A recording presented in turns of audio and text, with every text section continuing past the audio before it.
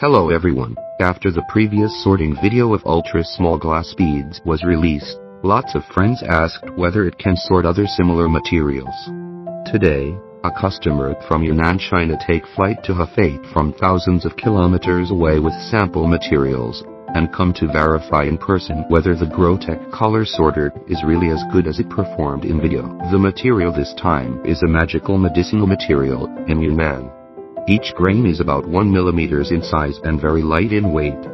The impurity content in the materials brought by the customer is very high, and the requirement is to separate the white particles from the black particles in the materials. Due to the tight time of the customer, this time we deliberately used the dual-channel MS126 model for experiments. The MS126 model uses the fifth generation Intel Core chip the LED part uses German OSRAM lamp beads, and the sensor uses high-end Toshiba Toshiba sensors. MS126 supports basic shape selection, color selection, IR selection, and multiple selection.